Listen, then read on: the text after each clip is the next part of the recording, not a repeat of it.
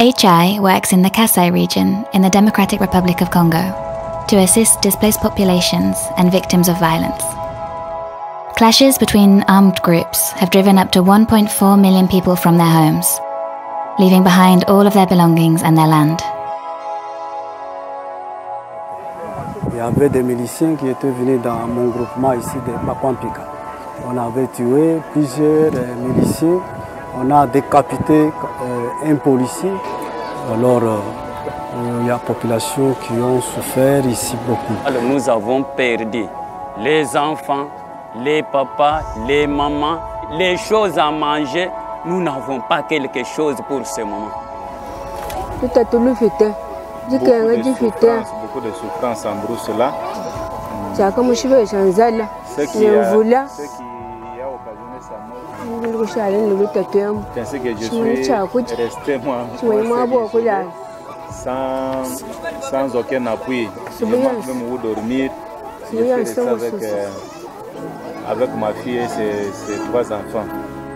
Donc nous sommes là, c'est un village qui a été touché par la crise, donc la population commence à, à revenir et pour reconstruire euh, carrément euh, leur vie. Donc ils ont toute leur vie, comme vous voyez, ils sont en train de reconstruire la maison, donc ils ont perdu leurs biens de- alimentaires, les biens de production. Et aujourd'hui ils sont en train de réinstaller où ils ont tout perdu. Donc ACI est là maintenant pour les, les aider, notamment à travers un programme d'assistance alimentaire 8,500 families have been identified around Demba and Dimbelenge, areas in a state of emergency food insecurity as declared by the United Nations. These families receive rations of flour, rice, beans, and salt in order to survive until the next harvest. HI also supports several hospitals in central Kasai so that the rehabilitation units have access to the equipment and skills necessary to treat the injured. Nous sommes en Kasaï, dans l'hôpital de Tshikaji. C'est pas loin de Kananga. Euh, il y avait encore euh, des combats euh, il y a quelques mois. Il y a beaucoup de gens qui sont blessés par balle et qui ont des fractures complexes.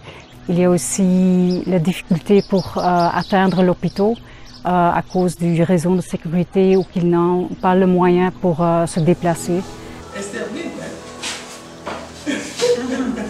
L'importance de la kiné, c'est que les gens deviennent le plus euh, fonctionnels, indépendants euh, possible, qu'ils peuvent de nouveau reprendre leur vie dans la communauté.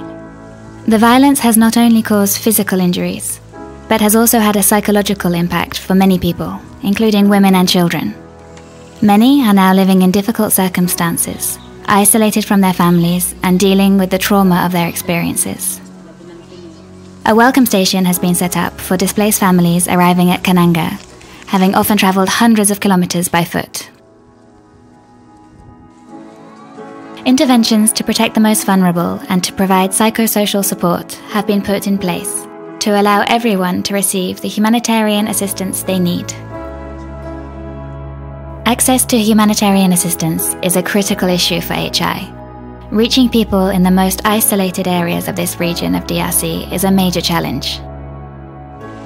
Thanks to its logistic unit, Atlas, HI has the expertise and experience to meet the challenge.